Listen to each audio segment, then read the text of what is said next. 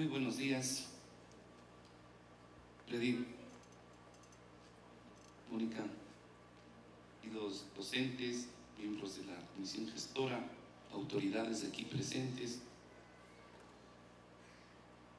familiares de los maestrantes, esposos, esposas,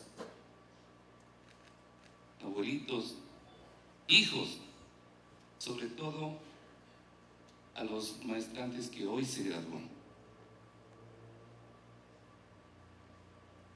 Como el que más yo tengo que destacar y valorar el enorme esfuerzo que uno realiza cuando quiere en el camino de la profesión, en la ardua tarea diaria, ubicar un espacio para leer, hacer trabajos, prepararse. Eso, esa actividad es digna de subrayarse, de destacarse, de valorar profundamente. Yo les felicito por esto, sinceramente. Qué duro que es estudiar y trabajar. Qué duro. Y seguramente esa carga se hace menos dura cuando hay la compañía de familiares solidarios, sobre todo de los esposos, de las esposas que les acompañan y de los hijos. Porque uno sacrifica tus horas libres, sábados, domingos, a la noche, en. Gran esfuerzo. Y entiendo que la otra motivación para esto y para llegar a este punto de su vida, sin lugar a dudas, provino de la fe y consideración que tienen sobre su responsabilidad como docentes y pensando en sus alumnos, en sus estudiantes. ¿Cómo yo puedo ser mejor docente, profesor, profesora, maestro, para brindarme y brindar mis conocimientos, mi energía a esos chicos, a esas chicas, a esos estudiantes? La vocación. Sin lugar a dudas, ese compromiso personal y en este caso social les motivó para llegar a este logro. Un Estado y un gobierno consecuente con la educación no podía y no puede dejar de lado este aspecto, el de que se necesita de manera permanente profesores y profesoras bien formados, capacitados, motivados, en fin. No hay cambio educativo y muchas personas me habrán escuchado este, en estos días, en estos meses y en muchos años señalar que no habrá cambio educativo, entre otros factores fundamentales, si no tenemos profesores y profesoras valoradas, capacitadas, actuando con lo que ustedes nos están entregando este momento al país y a sus alumnos. No hay cambio educativo. Pueden haber 40 mil reformas en el papel. Podrán haber N cantidad de recursos, incluso que se estén invirtiendo en infraestructuras maravillosas, pero si no existe un profesor y profesora que en el aula esté cambiando, no hay cambio. Por ahí se inicia el cambio. El centro del, el centro del hecho educativo, del esfuerzo nacional por la educación, son los estudiantes son los jóvenes, son los niños, son las niñas. Pero quien facilita ese cambio es el docente. Esto que estoy afirmando este momento, que es de conocimiento universal, tiene que entender la sociedad. Esto que estamos afirmando este momento, hoy, todas las políticas mundiales en términos educativos que incorporan y señalan que la educación es el bien estratégico más importante que tienen las naciones, que tienen los países, saben que si no tienen buenos docentes, ese bien estratégico no se concreta, no se da y los pueblos y las naciones no cambian. De ahí la responsabilidad de la educación y de ahí el entender la importancia que tienen los profesores y las profesoras, los maestros y las maestras.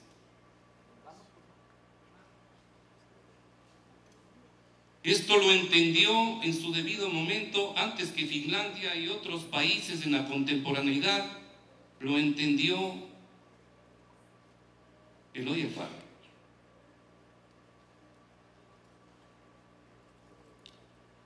El proyecto alfarista fue un proyecto de cambio civilizatorio muy importante para el país. Y como ustedes saben, arrancó en 1895. Vamos a un país con personas diferentes, distintas, que comiencen, que piensen por sí mismas, que dejen de lado los mitos, que tengan prácticas que guarden relación con la construcción de una nación diferente, de un país democrático y justo. Más o menos esa fue la gran idea. Ese fue el proyecto político. Pero para esto fue necesario acompañar, para este proyecto político fue necesario acompañar de un proyecto educativo. El principal proyecto alfarista no fue económico, lamentablemente. Fue político en el sentido del, de la división y separación entre Estado y sociedad entre Estado e Iglesia, básicamente. Pero para esto, el proyecto central de cambio y de modificación fue el proyecto educativo y dentro del proyecto educativo, y esa es la experiencia más importante que desde la, desde la perspectiva de la historia de la educación hay que, hay que valorar en la contemporaneidad, es o fue el relevar el papel del profesor. Debemos tener los mejores profesores para que precisamente poder realizar ese cambio. Y las primeras medidas que se dictaron en ese sentido fue la creación, por ejemplo, en 1897 del Colegio Nacional Mejía, que tenía la idea de convertirse entre universidad e institutos de formación de docentes. No se desarrolló ese proyecto, pero ya, arrancando el siglo, se constituyeron los normales. Juan Montalvo, Manuela Cañizares, Rita Lecumberri, entre otros. Vamos a formar docentes. Solo con los docentes podemos hacer ese cambio. Y efectivamente, lo que hizo esa decisión política liderada en la práctica por varios ministros que se decían en ese momento de instrucción pública, sobre todo Peralta, y el gran general Julio Andrade. Digo, esto se concretó efectivamente en la creación de un enorme movimiento pedagógico nacional que cruzó todo el siglo XX con altísima incidencia hasta los años 60 de ese siglo. ¿Cuál fue ese movimiento? El normalismo. Los normalistas. No hubiera habido un cambio a lo que hoy decimos la calidad educativa. Sino cargaban sobre sus hombros la responsabilidad del cambio del país, esos profesores, esos maestros, esas maestras que hicieron viable ese cambio a través de su práctica cotidiana y con relativo apoyo a momentos de los gobiernos en todo un enorme periodo de la vida nacional. A momentos actuando contracorriente. Varios gobiernos efectivamente alentaron ese cambio. ¿Qué quiero relatar y dejar señalado con esto? Que no solo es el esfuerzo, colegas, maestros y maestras que hoy se gradúan con graduarse, sino como bien lo señalaba el compañero que me antecedió una palabra, hoy graduado de maestro.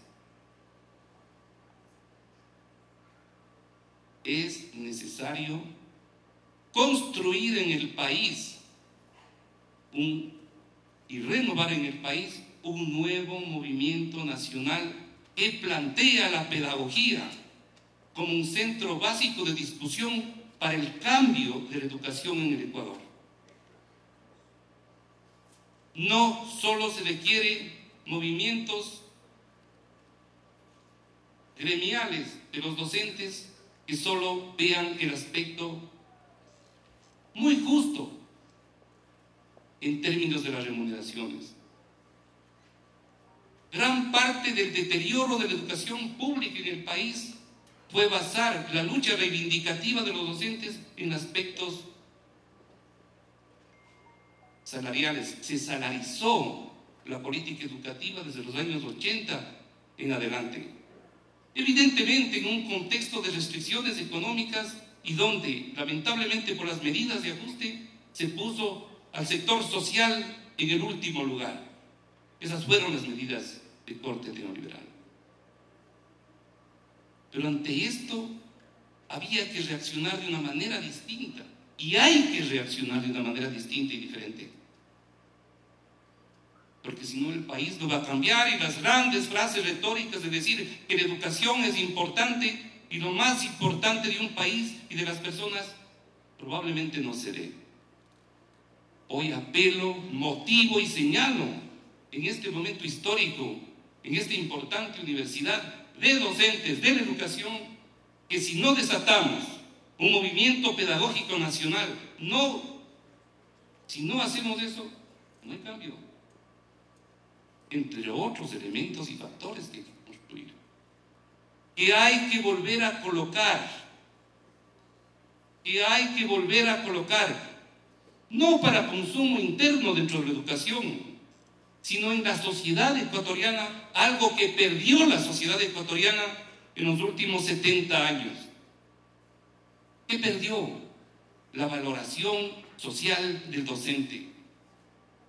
Que muchos gobiernos irresponsables profundizaron esto, menospreciando a los profesores. Pero también hay que hacerse una autocrítica. También hubo una acción interna dentro del magisterio que no sintonizó con su tiempo.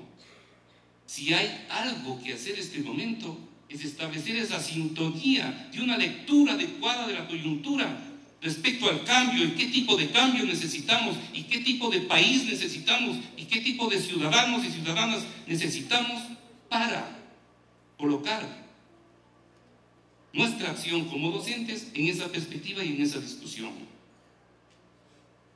Hoy desde el Ministerio de Educación hemos dicho, requerimos una nueva escuela. ¿Cuál es la nueva escuela que hoy requiere el Ecuador? No la va a decir esto sino para arrancar un debate el Ministerio de Educación. La va a decir la sociedad ecuatoriana a través de una discusión que y para eso estamos creando un espacio que se llama Acuerdo Nacional por la Educación.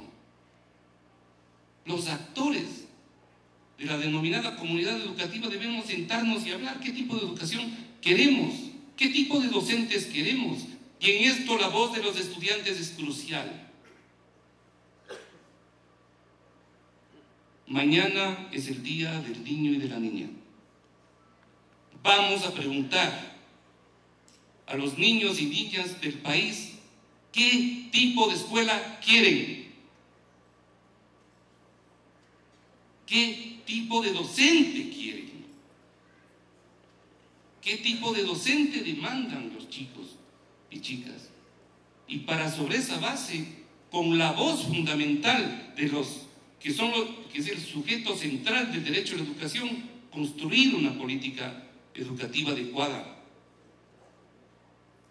Por lo pronto creemos que la educación tiene que derrumbar sus muros de ver, y de verse a sí misma para establecer un contacto con la realidad, que dialogue con la realidad, que se nutra con la realidad y que establezca un, un compromiso de cambio de esa realidad de cambio de esa realidad, en un contexto de seres humanos formados en libertad. Sin libertad no hay creatividad. Sin democracia y condiciones democráticas dentro de las aulas y en el contexto del país, no hay posibilidad de generar innovación y creatividad. Entonces, en ese marco, ¿cómo nos vemos como profesores y profesoras? ¿Qué es lo que tenemos que hacer? Hoy ya tenemos un título, ¿cómo bajamos esos conocimientos a las aulas? Entonces, lo que efectivamente yo quiero proponerles es repensar nuestro rol en esas circunstancias donde se demanda una escuela democrática, una escuela que genere pensamiento crítico, una escuela, una institución que genere seres humanos no sumisos, sino transformadores de su realidad. Para eso se requiere docentes que se integren a eso creando dentro de su propio espacio, que es el de su profesión y sobre todo en el aula. Las cifras que tenemos en el país de acoso sexual son terribles, tanto en la sociedad entre los hogares, pero también en los establecimientos educativos. Algo está pasando en, el sistema educativo, eso debemos detectar y cambiar. Qué enormes responsabilidades que tenemos. La misión que tenemos en este momento frente al Ministerio de Educación es trasladar la responsabilidad en términos de corresponsabilidad a todos los actores que generan aprendizajes en el país. Le estamos diciendo al Ecuador que no solo la escuela forma, y ustedes lo saben, en la formación de las personas incide altamente el comportamiento y la acción dentro de los hogares. Los padres y madres de familia deben asumir su responsabilidad. Todo mundo vota a la escuela, arroja a la escuela todas las responsabilidades de la sociedad. Debemos devolverle a la sociedad su corresponsabilidad y al Estado también, en los factores del Estado. Ayer nos reuníamos en este marco del Acuerdo Nacional con N cantidad de alcaldes y prefectos y les decíamos, aquí están presentes algunos de ellos. No solo es responsabilidad de un ministerio, de un Estado central, es responsabilidad de los gobiernos locales también. Porque los niños, los jóvenes y todos nosotros aprendemos en el espacio público, en el parque, en todo lado. ¿Qué hacen los medios de comunicación en términos de responsabilidad de los aprendizajes cuando todos sabemos que mucho del tiempo libre de los chicos, a veces es mayor tiempo del que pasan en las escuelas, están o frente a un televisor, o frente al computador, o frente a su teléfono, a través del internet otros factores y elementos de la realidad tienen que aprender a que tienen responsabilidad sobre, sobre los aprendizajes de la gente.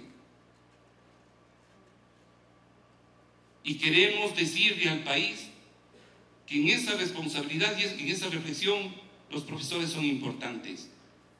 Y queremos entregarle una reflexión al Ecuador de que si no invertimos en los docentes, si no pensamos en una carrera docente revalorizada e importante para que atraiga a los mejores talentos del país de aquí en adelante a que sean profesores y profesoras, no haber cambio. Para eso tiene que ser un esfuerzo importante en la sociedad. Debemos revalorizar la profesión docente. Y me dirán, ¿y usted, ministro, en cinco meses qué ha hecho en esa idea? Hasta este momento, plantear esto al país y plantear esto como un factor importante dentro del debate del Acuerdo Nacional por Educación. ¿Qué hemos hecho? Uno, hemos señalado que hay que recuperar al profesor para que no tenga esa multitud de actividades burocráticas que le llevaban, yo me imagino, ustedes, tanto estudiar y encima llenar formularios, planificaciones, desnaturalizando su profesión. Eso hemos hecho y queremos que eso baje a las aulas. Recuperar el papel del profesor, del docente y de la pedagogía para que sea profesor y profesora.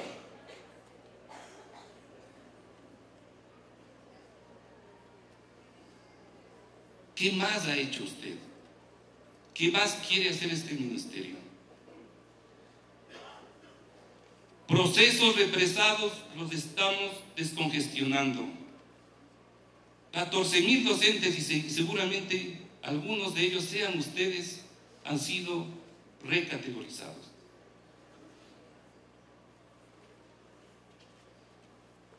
Y el día de hoy, en este espacio anuncio, he firmado hace dos días el desatar todos los procesos para que se canalice nuevamente el ser maestro 6.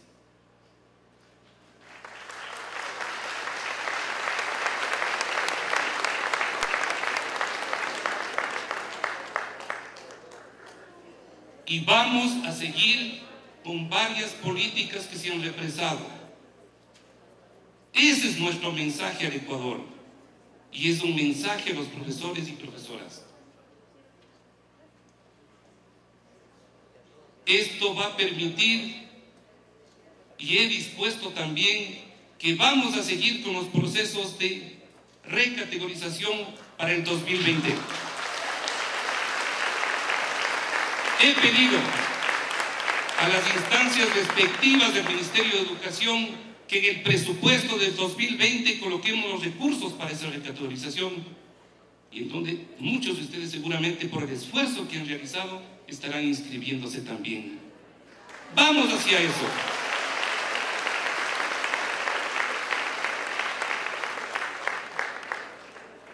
Quizás para el próximo año podamos proponerle al país un paquete entero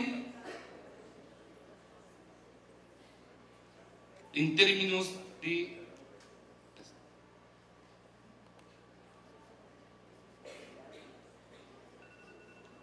pensar al tema docente en su integralidad. Tenemos que repensar seriamente en el tema de la formación docente, del papel de las facultades de, las, ciencias de la educación, del rol y el papel de esta propia universidad, de una manera integral. Sé que se han hecho importantes esfuerzos, está muy bien, pero pensemos en su integralidad. ¿Qué está pensando respecto a sus necesidades de cambio educativo relacionado con el tema de la formación docente. Vamos a emprender acciones para la profesionalización de aquellos maestros y maestras que no tienen título de docente todavía. En las próximas semanas haremos un anuncio al respecto. Queremos, queremos, no me digan por favor alza salarial, Acabo de decir que discutamos el tema del docente para el país. ¿Por qué razón? Porque la sociedad, y eso soy súper sincero, no valora a los docentes en este momento en el Ecuador. No valora. Tenemos que, por nuestro esfuerzo, nuestro trabajo, hacer que esa sociedad vuelva a valorar a los docentes y dé carta abierta para que el Estado invierta más en educación e invierta más en los docentes. Hagamos eso. Pensar seriamente en todas las fases, desde la formación inicial, capacitación, salud, jubilación digna, en fin. Eso debe ser, parte del Acuerdo Nacional por la Educación. Que no lo vamos a suscribir yo con la UNE o con la red de maestros. No, eso no le interesa al país. lo que le interesa al país, lo que debería interesarnos a nosotros, es que la enorme población ecuatoriana diga adelante con la necesidad de cambio, valoramos a los docentes y vamos a invertir más en educación. Y la educación en un momento de crisis debe demandar, por supuesto, más recursos, pero ¿de dónde van a salir esos recursos? El país debe ir a un pacto social, fiscal necesario para ver de dónde van a salir esos recursos. Ese yo creo que es decir las cosas así, es decir las cosas en serio.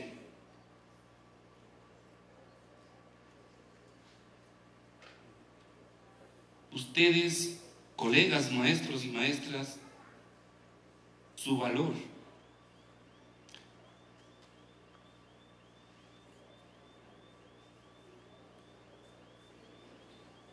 Su esfuerzo, que hoy culmina, debe ser valorado por la sociedad ecuatoriana. Así como el esfuerzo de ustedes y de sus familias hoy estamos valorando y haciendo este muy bonito acto, tiene que conocer el país. Espero que los medios de comunicación, si están aquí presentes, se hagan eco de este esfuerzo que ustedes han realizado. Esa es la señal positiva que debemos darle al Ecuador. Que hay gente, profesionales que se esfuerzan por ser mejores docentes, por ser mejores profesores, porque esto va a bajar, como muy bien decía el colega maestro hace un momento, recién inicia nuestra actividad. Y los grandes beneficiarios de toda esta situación son los niños y las niñas que van a los establecimientos públicos del país. Quiero culminar esta intervención señalando que nada de esto va a ser posible si no nos unimos. Nada de esto en términos de la revalorización social del docente, del cambio de la educación en el Ecuador, que requiere de múltiples otros elementos, va a ser posible si no nos unimos. Con discrepancias, pero también con coincidencias. Les aliento a crear en cada aula del país espacios para discutir qué educación queremos. Así como les estamos pidiendo desde el primero de junio a los niños y niñas, es muy importante que en cada aula del país se discuta qué educación queremos, qué esfuerzos podemos hacer desde los diferentes costados para tener una educación para el cambio. Bienvenidos y bienvenidas a este reto y muchas gracias. El gobierno de todos.